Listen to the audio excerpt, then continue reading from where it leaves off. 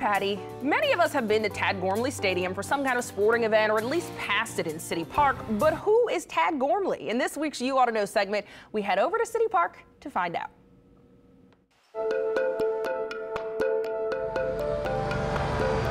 We all know of Tad Gormley Stadium in City Park, but who is Tad Gormley? I'm born and raised in New Orleans and I've been working in City Park for 10 years. I don't know if I should admit this, but I didn't really know exactly that much about Tad.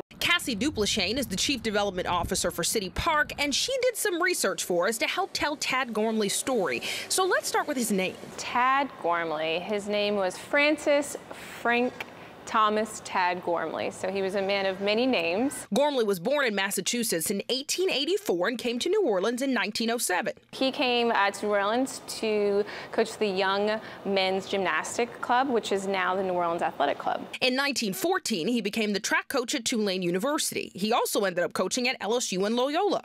Now, track was his passion, but he coached basketball, wrestling, and boxing as well, and trained several athletes who won the Olympics. He actually actually was the assistant coach for the 1932 uh, track Olympic team. In 1938, Tad Gormley moved into the position that would seal his legacy. He became the athletic director here at the stadium. Now, back then, it was called City Park Stadium. It opened in 1937 under the Works Progress Administration, and Gormley would hold informal weekly track meets. Being able to teach and educate uh, youth on, on being healthy and well and, and staying active was really important to him as well. After 30 years of training, and supporting athletes, Gormley passed away in 1965.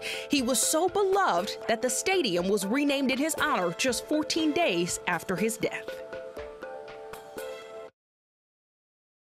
In almost Tad Gormley was in almost every Hall of Fame that you could think of the National Athletic Trainers Association Hall of Fame, the Louisiana Sports Hall of Fame, the Greater New Orleans Sports Hall of Fame, and the Louisiana Athletic Trainers Hall of Fame. And Leslie, I didn't know who he was. Me either. You know, I've covered so many high school football games there. Yeah. And I never really even thought about it. That's what the folks at City Park yeah. said. They were like, honestly, I hope this doesn't make us look They're bad. Like, and I said, do some research. No, no, no. I said, that's the point of the series. Often when I do these, I show up to the place and realize that the people who run it have never really thought about what the name on the yeah. building represents. Oh, very cool story. So, yeah, very cool. Ran Coached City Park Stadium for 30 too. years. Amazing. Coached Olympians wow. and was just so into athletics, he'd hold these informal track meetings on the weekends. And so people would just come out. He was all about health and fitness and getting the community involved. Yeah, and it's perfect that that's in City Park because that's yes. what that embodies today, too. So next time you go to Tad Gormley Stadium, now you know.